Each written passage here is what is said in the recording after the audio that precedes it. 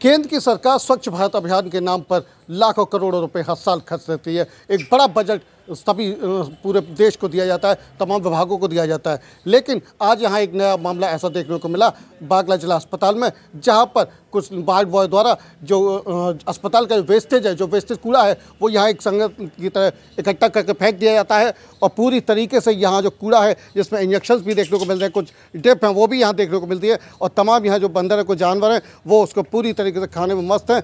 और आप देख सकते हैं, पूरा जला हुआ कूड़ा है, यहाँ पर पूरी प्लास्टिक है, पॉलीथिन है, सब कुछ है इसको यहाँ पर वेस्ट करने के बाद में जला दिया जाता है। ये कैंपस अपने अपने जिला अस्पताल हाथरस का है, जहाँ पर ये पूरा वेस्टेज है, एक बड़ा बड़ा वेस्टेज है यहाँ पर। और ऐसे मौसम में, जबकि डेंगू का यहाँ बड़ा प्रकोप है, हर जगह डेंगू का मौसम है, लोग तमाम बीमार हो रहे हैं, डेंगू के मरीज़ भी पाए जाते हैं, और ऐसे में यहाँ तमाम मच्छर और गंदगी यहाँ व्याप व्याप्त है। यहाँ पर आप देखेंगे, यहाँ राजकीय होम्योपैथिक का अस्पताल भी है, जहाँ दिन भर जो मरीज़ हैं, वो यहाँ आते हैं और यहाँ पे मेरे मेरे हाथ के साथ देखेंगे पूरा यहाँ जिला अस्पताल का पूरा वो कैंपस है, जहाँ पर जो दिन भर हज़ारों की संख्या में यहाँ मरीज़ रहते हैं और ऐसे में एक वेस्टेज इतनी बड़ी वेस्टेज को यहाँ खुले में डाल दिया जाता है, जिससे एक बड़ा जो मच्छरों का जो प्रकोप है, वो बहुत बड़ा है। एक तरफ़ यहाँ भी आप देखेंगे कि यहाँ पूरा, पूरी तरीके से कूड़ा व्याप्त है। ये जिला अस्पताल का कैम, कैंपस है पूरा यहाँ पर, और जो बड़ी मात्रा में यहाँ पूरा जो वेस्टेज होता है प्लास्टिक पॉलीथीन